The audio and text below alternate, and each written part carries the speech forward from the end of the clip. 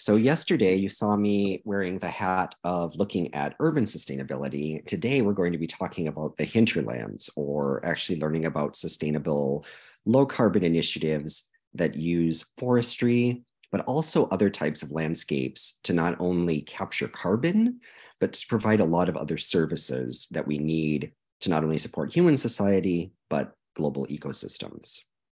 And kind of by accident, I realized that this program has been sandwiched by two really impressive examples of nature-based solutions to climate change. You had the opening from the minister from Bhutan, which has really focused on these amazing nature-based solutions in the Asia Pacific region. And today you're going to get an insight into Costa Rica, which has been a really uh, big player in reforestation to fight climate change as well as biodiversity loss in the Americas. Um, so without further ado, I'm going to start my slide.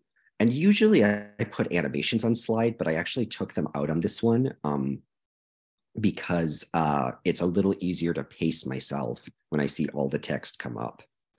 So let's get going.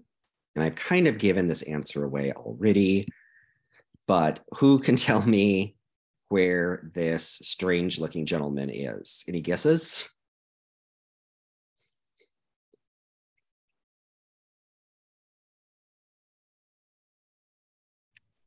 Where do you think I was when these pictures were taken?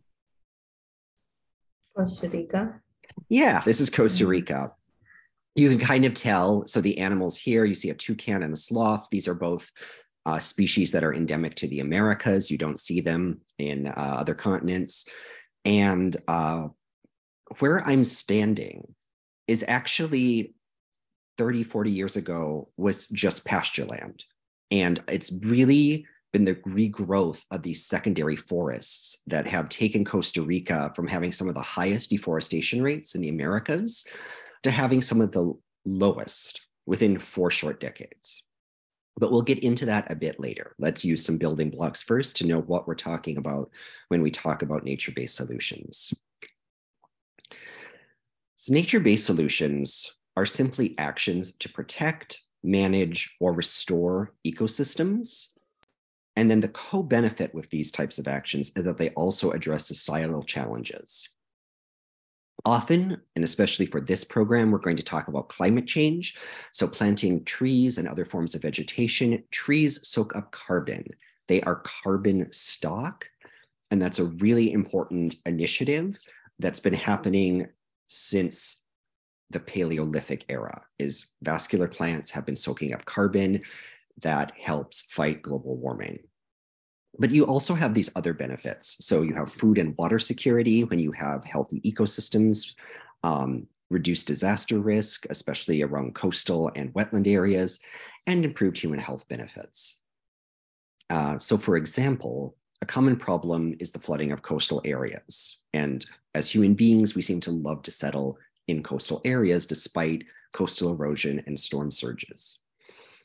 So while this challenge, and traditionally, I really just mean for the last 100 years, has been tackled by gray infrastructure, such as some things like seawalls, uh, coastal flooding can also be addressed by actions that take advantage of ecosystem services. So moving from a gray infrastructure, such as a seawall, towards, for example, planting mangroves that not only prevent erosion, but serve as some kind of defense against storm surges. Um, so that's really just what we're talking about when we're talking about nature-based solutions. Uh, people were doing this for millennia. We kind of, a lot of our societies around the world focused on shifting to gray infrastructure as a solution in the last 100 years. But increasingly, we're realizing there are lots of benefits towards shifting back towards managing living ecosystems instead of just human infrastructure in response to a problem, especially when it comes to climate change. So one recent suggestion from World Bank estimates that nature-based solutions could provide up to 37% of the mitigation needed until 2030 to achieve the Paris Agreement. That's over one third. And remember, while these might be technically difficult to manage, trees and other forms of vegetation and ecosystems can be difficult to manage, it's nothing human beings have not done before. We're not talking about creating a new technology. We're not talking about launching or upscaling an energy system that's never been trialed before. We have existed in living memory at a time where forests and other ecosystems took up a much larger part of the planet, and we can return to that, or at least move closer to it. So if you simply, if you plant trees, they're going to soak up carbon, and uh, there are many ways to do this. You don't just need to go in and plant in very marginalized landscapes, restoring native forest at the margins of a river. Um, can avoid landscapes, but it also acts as a carbon sink. So you get this idea of co-benefits. Uh, we talked a little bit about that in the cities module. You're going to see it pop up again any more in this nature-based solutions module. Um, another thing um, that nature-based solutions kind of touch with food systems is you get climate smart agriculture. So trying to work with farmers to retain more carbon in their fields as they produce crops. One of the things we forget is trees aren't the only part of living ecosystems that sequester carbon, soils themselves do. And agriculture, because our agricultural systems around the world have become so intensive, tend to also treat soils quite poorly, and poor soil does not sequester as much carbon. However, if we shift towards more climate smart agriculture, we can keep the gains in food productivity while still sequestering more carbon in our soils. And then, of course, the classic example that you'll hear more about in Costa Rica's case is decreasing forest deforestation.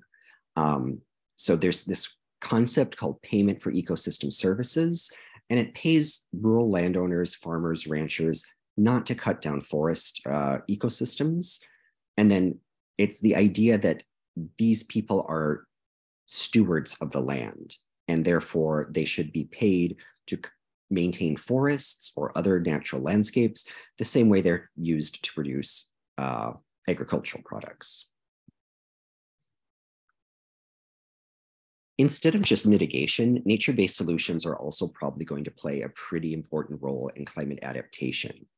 So um, World Bank, uh, again, this is an organization that uh, many of you have probably heard of, but in the last five years, they've become very proactive on this idea of nature-based solutions. And the end of the day, the reason for this is because they tend to be more cost-effective than gray infrastructure. Um, so a lot of projects that have been funded by the World Bank look at helping manage disaster risk and reduced incidence and impact of flooding, as well as other natural disasters. But with climate change adaptation, trying to mitigate impacts of flooding, especially in urban areas, especially in coastal areas, is playing an increasingly important role. And you get a better investment using nature-based solution than a lot of gray infrastructure that needs to be replaced every 20, 30 years. And so, as I said, these are cost-effective ways for addressing climate change, especially in those communities. Um, and the nice thing that World Bank and other funders like about nature-based solutions is they often address several problems at once. So you don't have to try to tackle everything individually. The key thing to remember though is while you can have co-benefits, it's not automatic that everything you plant becomes a nature-based solution. So for example, planting trees that are not from the region that might be toxic to local animals that's actually not going to give your biodiversity co-benefits. This is a big debate with what we see things like plantation forestry for palm and bamboo. Okay, yeah, these plants are soaking up carbon, that's a climate benefit. But if you're not actually supporting the animals and plants of the ecosystem that the plantation forestry is going into, you're not actually helping biodiversity in the region, you're hurting it. So again, nature-based solutions certainly open up the door for co-benefits, there's nothing saying that they're all going to have co-benefits though. And in fact, some of them might not be that good with co-benefits. Just something to keep in mind. The question all researchers dread but have to wrestle with, how do you measure results from a nature-based project? Well, most nature-based solutions that we work with at the international and national level use an evidence-based approach. And so um, governments and funders want to know how much carbon is being sequestered in these nature-based solution and what other impacts these projects are having. Um, This means that you have to have really good data for monitoring and evaluation throughout the cycle. You can't just start at the beginning and the end. Uh, depending on the type of system you're working with, you might need monthly or in some cases bi-monthly uh, data to really understand the dynamics of the ecosystems you're working with. Remember, plant growing seasons go through seasons. Uh, you might have severe weather incidents like a drought or a flood. These are all going to impact nature-based solutions. And so that's why monitoring, well, it's important in any project. It's especially important in these because the systems are quite complex. Um, what exactly needs measuring? Again, that depends on what problem you're actually addressing. If the goal is to mitigate climate change, you need to be very clear from the get-go of the project what's equations, protocols for data collection, as well as what systems are established to measure the results. So if you start with a reforestation project, and again, this sounds obvious, but it happens more often than not, don't add add area in the middle of the project. You really need to have a defined area you start with and not change parameters while you're going on in the project. Um, a ton of carbon dioxide equivalent, usually CO2, but we talk about CO2 equivalent when measuring greenhouse gases, um, has the same effect on greenhouse gas concentration in the atmosphere as a ton of carbon dioxide sequestered in a reforestation project in Russia. So again, you have to look at what you're measuring. If you all you care about is carbon sequestration, and you can say this project in Russia and this project in Brazil have equal benefits. If you want to look at a biodiversity conservation benefit, you're more likely to pick Brazil because there's greater biodiversity the closer you get to the equator. So just things to consider. Um, it's also critical with measuring and evaluation to look beyond uh, climate and to also measure other benefits. So like the biodiversity example I just gave, if you're just counting carbon, a boreal forest in Russia and a tropical rainforest in Brazil, uh, if you have to choose between funding one, they're probably equivalent. If you want to add a co-benefit of biodiversity, Brazil might be a better option. Again, not saying it's right or wrong. You just have to see what benefits you're trying to accomplish. Um, but realistically, most nature-based solutions projects have a range of indicators, including um, trends in species population, water quality and predictability in watershed, and increasingly, even though I didn't put it on this slide, impacts on local communities. So are household income levels growing next to the project or are they shrinking? Um, how about accessibility to goods and services for communities adjacent to this reforestation project?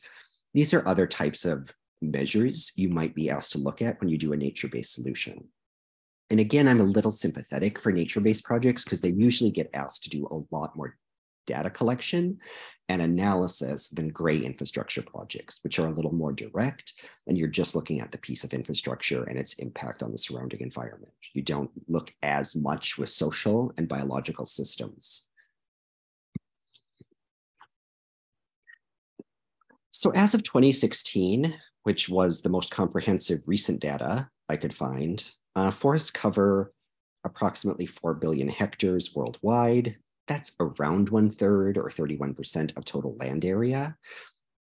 There probably are some more updated lists, um, but within the UN, we tend to look at land cover every five years. Um, and unfortunately, usually the update uh, for this happened during the COVID pandemic, and I haven't seen a lot more recent data. But most other proxies I've seen from NGOs that monitor this, as well as some global funding institutions uh, say it's still around 31% based on satellite imagery. Uh, between 1990 and 2000, so the last decade of the 20th century, we lost about 8.3 million hectares per year. After 2010, remember, we're still losing forests, but we started losing it at a slower rate, only about 6.2 million hectares per year. And based on satellite imagery, that trend has maintained. We're still losing forests, but we're doing it at a much slower rate globally than we were through the 20th century. It's still having a big impact on the climate, though. And so, not only um, the devastating impact of tropical forest loss on biodiversity, as well as indigenous communities that inhabit it. Um, big, big impact of forest loss, not just from tropical forests, but from temporal and boreal forests as well, um, is the release of carbon dioxide. So not only are those trees and other plants not only absorbing carbon dioxide, they're either being burned or they're breaking down over time. And that's releasing much more potent greenhouse gases into the atmosphere through uh, usually uh, methane if forests are breaking down. So when we talk about the conservation of forests to other land use and responsible for around 10% of net global carbon emissions. So it doesn't sound like a huge amount, um, but when you look globally at what forests could do if we gave them a chance, solving the problem of deforestation is absolutely a prerequisite in responding to climate change. And not just forests, but when we look at wider land use, including agriculture, how we treat soils, as well as ocean use, how we treat oceans, um, nature-based solutions have an even bigger role to play. Um, so this isn't the clearest map I could find, but it was the one that was most customizable. And you can see on the map which nations are doing have the most forest. Okay, so I'm going to show you three maps. Don't get too confused. This is just looking at who has the most. Any surprises in this map? Something you see that you did not expect?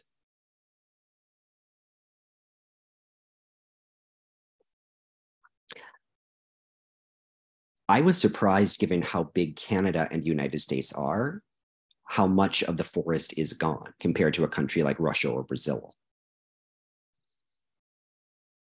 Anyone else? Anything to notice? How about your own countries? Anything that catches your attention?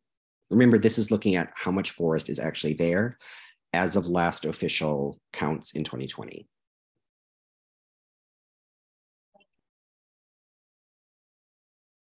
All right, I'll let you not talk for this one, but then we'll move on to the next one and I will make you talk. This is how much countries are protecting ecosystems, including forest. So the green, the more green you are, you're doing better. The closer you are to the red, not good at all. How about this map? Remember, this is how much of land is forested. The more green you are, the more you have. This map is how much of that is protected. The more green you have, the more protected your resources are. So looking at the juxtaposition between these two slides, are there any surprises? It's going to be a long session if none of you talk. Uh, it's interesting to see what's happening in Northern Africa, I think, because they do yes. not have a lot of forest, but they're conserving it pretty well. Ah, uh, is North Africa conserving? I, it's most of it's under five percent. Um, but, the India still, one still better off than yes. Mm-hmm. The India, um, sorry, the Australia. Someone mentioned in the chat. I'm just going to see this comment thought Australia has more forest. No, that's one of the interesting things. Australia, even though it has a paper exporting industry, it has fewer trees than any other continent. And it's still one of the developed countries in the world or high income countries that is losing forest every year. A lot of other countries that are high income, their forests are growing back. So some interesting trends. And this last map I'm going to show you. Nope. Okay, just the two for now. Okay, so why are we talking about forest conservation? Well, forest conservation plays a pivotal role in a lot of global environmental treaties around climate change for a process called REDD. And REDD is simply an acronym that stands for Reducing Emissions from Deforestation and Forest Degradation, REDD. Um, and the REDD framework is one that a lot of emerging economies have proposed uh, where they are rewarded financially for emissions reductions achieved that are associated with a decrease in the conversion of forests to other land uses. So by protecting their forests, they're not only helping to fight climate change, but again, it's linked to this concept of payment for ecosystem services that high emissions economies will compensate them and pay them for that ecosystem service that is a global common good. Um, so looking at the current or projected rates of deforestation and forest degradation, countries that are taking action to effectively reduce those rates are financially rewarded.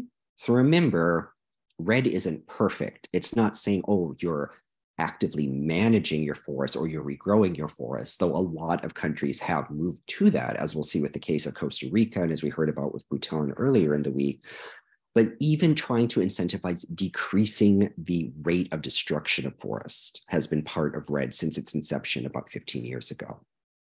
And REDD provides a unique opportunity to achieve large scale emissions reductions at apparently low abatement costs. So by providing some economic valuation of ecosystem services and the role it plays in carbon capture and storage, it allows intact forests to compete with historically more lucrative land uses, such as destroying forests for timber and then turning the land into either agriculture land, grazing, or some other use of human inhabitation.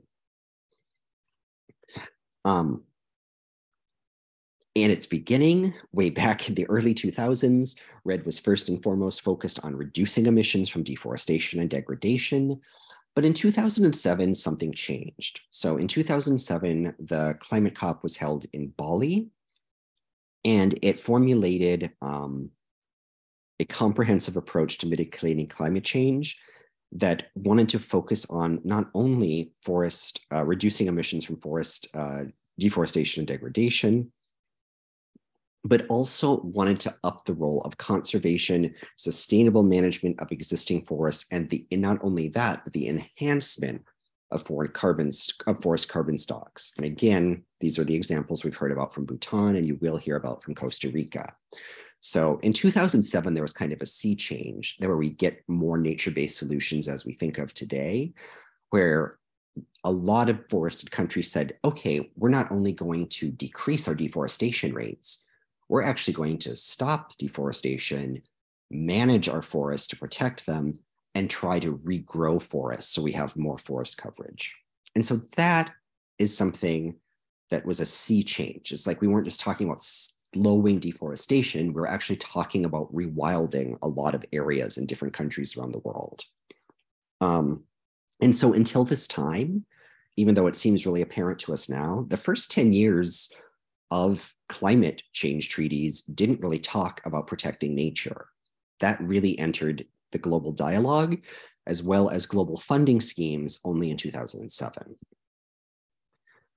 So in 2010, at the Cancun agreements, REDD formally became REDD Plus to reflect these new components. So yes, we are still talking about reducing emissions from deforestation and degradation, but we're also talking about with nature-based solutions, conservation of existing forests, sustainable management of forests. You can still use a forest, but you have to make sure its carbon stocks and its biodiversity are healthy, and enhancement of carbon stocks, regrowing forests. A lot of this happens naturally, but also making policy interventions so that happens a little more intentionally.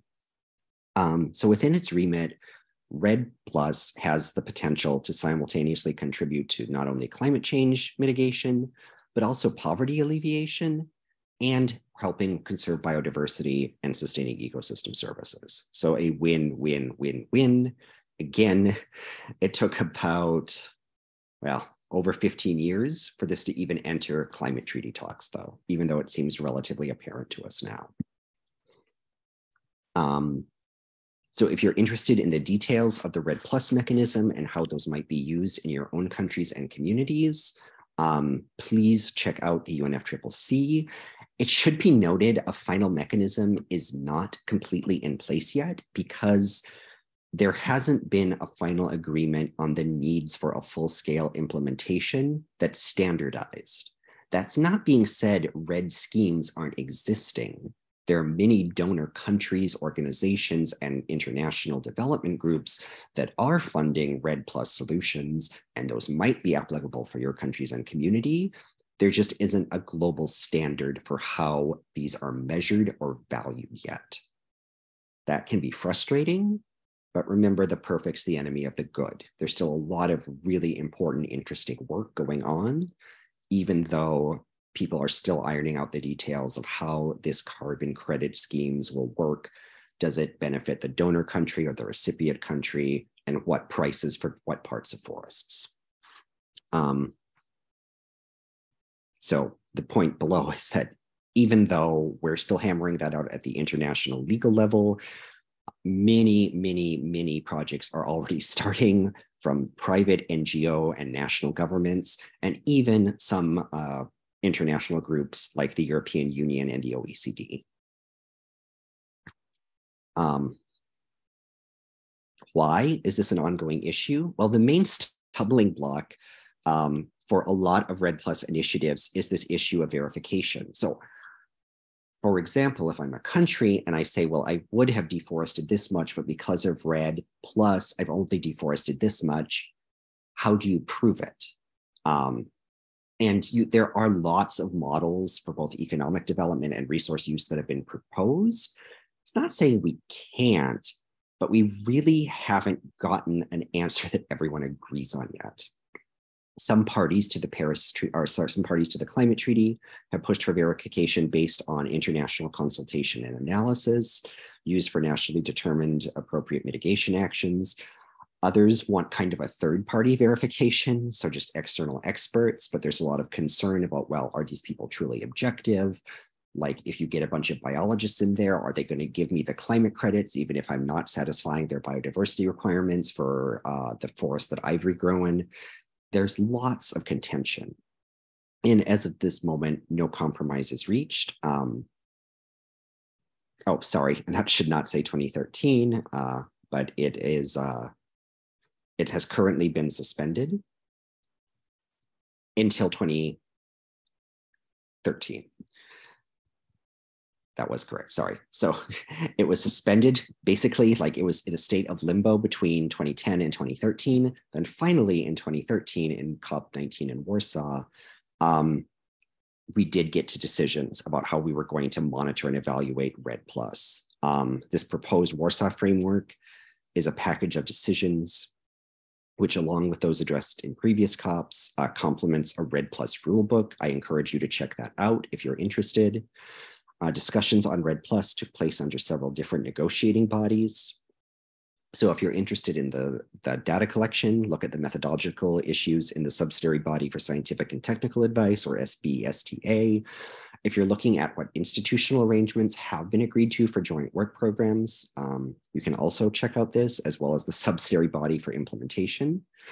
Um, and increasingly, there are uh, financial schemes under the Conference of the Party for COP for REDD Plus initiatives. So I encourage all of you to look what might be existing in your own countries and your own communities within your countries because there's actually stuff happening all around the world at pretty much any place that has using rewilding as a concept for climate change mitigation or adaptation. Um, so some of the things that have been ironed out in Warsaw were modalities for monitoring systems for forests, modalities for measuring and reporting systems, how technical assessment would look for what emissions were being absorbed by forests, and looking at how to address the drivers of deforestation and forest degradation. Um, so we have been debating all of these issues extensively ever since COP16 in Mexico. And you'll still see debates about these issues pop up. But more importantly, for your activities in this program, even without final decisions on an international standard for these, there are a lot of REDD Plus projects that are already in the works and are already soaking up carbon and providing co-benefits. Um, I'm going to kind of rush through this because I'm running out of time. Um, 2014, we didn't really get to anything new. but finally, at COP21 in 15, which was the Paris Agreement, uh, they did reach a conclusion on decisions for all of these measuring, evaluation, and analysis decisions for looking at how we use forests and fighting climate change. Um, and all countries were encouraged to implement and support REDD+.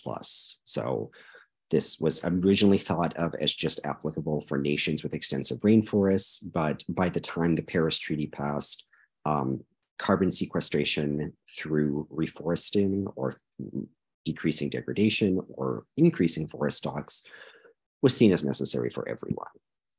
Um, so as of 2021, here are the current countries participating in REDD Plus programs. Do you see your own country on there? And if so, did you know about an activity that's happening for either protecting existing forests or expanding forests.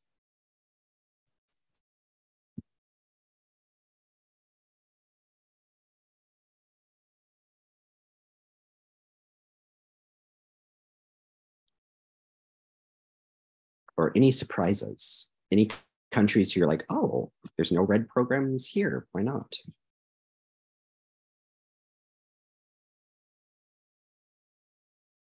Um, uh, hello. Um, mm-hmm. I'm sorry, someone else want to speak. Uh, I'm surprised that m- many developed countries not in uh, the list. Yes, and yeah. this has been an yeah. issue, even though, as we saw, a lot of developed countries do have extensive forest stocks. Um, so you'll notice places like Canada and Sweden, um, even though they have pretty extensive areas of forest, uh, they're not participating in an active REDD Plus program. Part of the reason for that is funding. Usually, funders only fund emerging economies uh, for forest schemes. Um, but also, a lot of developed economies um, are reluctant to focus on uh, reforestation because it might threaten some primary industry uh, within their borders. So I think we're still on pretty good track for time. So I'm going to rush through the rest of these slides and then hopefully we'll have time for some more Q&A and I can refer back to one of the slides if you're curious. Okay, so this is just setting the stage for the talk that's going to come after me. Um, so looking at case study as kind of a success for doing this REDD Plus approach to nature-based solutions. Um, one of Costa Rica's main success is that um, it approached reforestation in a way that wasn't popular at the time. And so reforestation was really not a conservation priority during the 1980s and 1990s when Costa Rica was launching its program. A lot of biologists, especially from the Western world, are kind of puritanical. They thought old growth forests were the only thing worth protecting. Nature that was regenerated from a growing secondary forest or forest that you know springs up after trees have been cut really wasn't going to be interesting or good habitat for wildlife. Um, Costa Rica took a different approach to that, though. And reforestation on former agricultural lands or after timber harvest had been done uh, started occurring in the late 1980s. And this was not only, it did sequester carbon, um, but it had a lot more success in protecting the country's biodiversity than a lot of conservationists from the 1980s and 1990s thought it would. And because this biodiversity conservation was a twinned objective with its restoration, in addition to fighting climate change, um, the country has been able to avoid fast growing plantation forestry monoculture and instead focused on reforestation of mixed tropical hardwoods that are native to the country. So, as I said, not all nature-based solutions are good for biodiversity. You might have monoculture of a bamboo or a palm species. That's probably not going to be ideal habitat or food sources for local wildlife, and it might not provide the same ecosystem services as a mixed forest. But Costa Rica was aware of that and did allow for native trees to regrow on formerly uh, harvested land. Um, and this has not only occurred in tropical lowland forests, but also um, higher elevation temperate forests within Costa Rica's mountains, uh, which again the country didn't just focus on tropical forests, but also looked at its higher elevation temperate forests, which was seen as less important for protecting biodiversity, but actually has played a huge role in protecting biodiversity and increasing carbon stocks. So during the 90s, um, Costa Rica launched one of the world's first national payment for ecosystem services programs. And it actually incentivized farmers and rural landowners to protect the biodiversity, capture carbon by not chopping trees, and protecting local watersheds.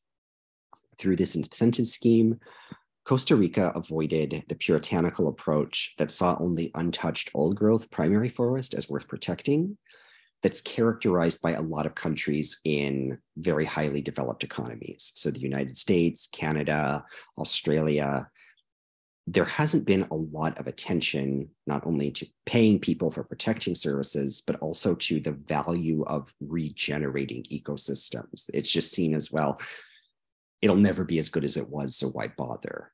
Costa Rica avoided this and has had a lot of success in not only expanding its forest stocks, but protecting its biodiversity th through this.